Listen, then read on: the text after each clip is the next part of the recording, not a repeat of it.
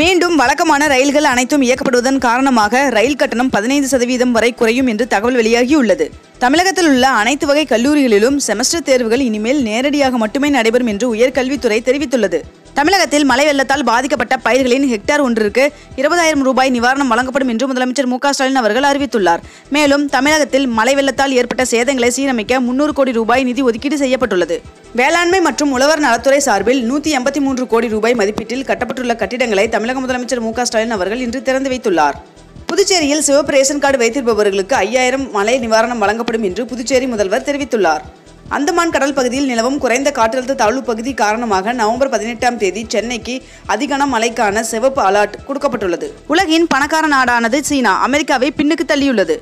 Petrol diesel மீதான கலால் வரி குறைப்பால் ஏற்படும் இழப்புகளை மத்திய அரசே ஏற்கும் என்றும் அனைத்து மாநிலங்களுக்கும் வருகின்ற இருபத்தி ரெண்டாம் தேதி தொண்ணூற்றி ஐயாயிரம் கோடி ரூபாய் வரித்தொகையை பகிர்ந்தளிக்கப்படும் என்றும் மத்திய அமைச்சர் நிர்மலா சீதாராமன் அவர்கள் தெரிவித்துள்ளார். தொழிற்கல்வி படிப்பில் சேர்ந்த அரசு பள்ளி மாணவர்களுக்கான கல்வி கட்டண நிதி எழுபத்தி நான்கு கோடி ஒதுக்கீடு செய்து அதற்கான அரசாணை வெளியிடப்பட்டுள்ளது. தமிழகத்தில் இன்று முதல் இரண்டாம் தவணை தடுப்பூசி போடாத ஐம்பது லட்சம் பேருக்கு வீடு தேடி சென்று தடுப்பூசி போடப்படும் என்று சுகாதாரத்துறை அமைச்சர் மா. சுப்பிரமணியன் அவர்கள் தெரிவித்துள்ளார். தமிழகத்தில் நகர்ப்புற உள்ளாட்சி தேர்தல் அறிவிப்பு இம்மாத இறுதியில் வெளியாக வாய்ப்பிருக்கிறது என்று தெரிவிக்கப்பட்டுள்ளது. கோவையில் இரண்டு பேருக்கு பன்றி காய்ச்சல் உறுதி செய்யப்பட்டுள்ளதாக மாநகராட்சி நிர்வாகம் தெரிவித்துள்ளது.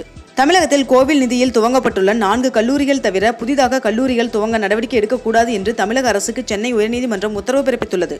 தமிழகத்தில் அறநிலைத்துறை கட்டுப்பாட்டில் இல்லாத கிராம கோயில்களில் பணியாற்றி ஓய்வு பெற்ற பூசாரிகளுக்கு ரூபாய் மூன்றாயிரத்திலிருந்து நான்காயிரமாக ஓய்வூதியம் உயர்த்தி வழங்க தமிழக அரசு உத்தரவிட்டுள்ளது. பத்திரிகையாளர்கள் ஐந்து முதல் இருபது ஆண்டுகள் வரை பணியில் இருப்பவர்கள் உயிரிழந்தால் குடும்பத்திற்கு ஒன்று புள்ளி இருபத்தைந்து லட்சம் முதல் ஐந்து லட்சம் வரை உதவித்தொகை வழங்கப்படும் என்று தமிழக அரசு தெரிவித்துள்ளது.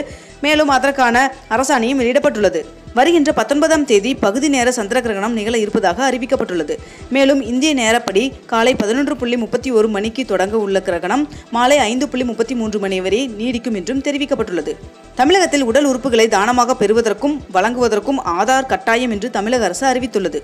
கார்த்திகை தீப திருவிழாவையொட்டி திருவண்ணாமலை மாவட்டத்தில் வருகின்ற பத்தொன்பதாம் தேதி ஒருநாள் உள்ளூர் விடுமுறை அறிவிக்கப்பட்டுள்ளது. மேலும் இந்த விடுமுறையை ஈடு செய்யும் வகையில் டிசம்பர் நான்காம் தேதி சனிக்கிழமை பணிநாளாக இயங்கும் என்றும் அம்மாவட்ட ஆட்சியர் அறிவித்துள்ளார். இனிமேல் தமிழகத்திற்கு வர கொரோனா பரிசோதனை சான்றிதழ் அவசியமில்லை என்று தமிழக அரசு தெரிவித்துள்ளது. ஒன்பதாம் கட்ட மெகா கொரோனா தடுப்பூசி முகாம் வருகின்ற இருபத்தி ஒன்றாம் தேதி ஞாயிற்றுக்கிழமை என்று ஐம்பதாயிரம் முகாம்களில் நடைபெறும் என்று அமைச்சர் மா. சுப்பிரமணியன் அவர்கள் தெரிவித்துள்ளார். தமிழ்நாடு உள்ளிட்ட மாநிலங்களுக்கு தேவையான தொண்ணூறாயிரம் டன் யூரியா மூட்டைகள் வெளிநாடுகளில் இருந்து இன்று இரண்டு கப்பல் மூலம் காரைக்கால் துறைமுகத்திற்கு வந்து சேர்ந்துள்ளது. பொறியியல் மாணவர்களுக்கான செமஸ்டர் தேர்வு டிசம்பர் பதிமூன்றாம் தேதி தொடங்கும் என்று அண்ணா பல்கலைக்கழகம் அறிவித்துள்ளது. இருபத்தி ரெண்டு கேரட் ஆபரண தங்கத்தின் விலை சவரனுக்கு நூற்றி பன்னிரெண்டு ரூபாய் உயர்ந்து ஒரு சவரன் முப்பத்தி ஏழாயிரத்தி இருநூறு ரூபாய்க்கு விற்பனையாகிறது அதேபோல் ஒரு கிராம் வெள்ளியின் விலை எழுபத்தி ஒரு ரூபாய் ஐம்பது பைசாவாகவும் விற்பனை செய்யப்பட்டு வருகிறது.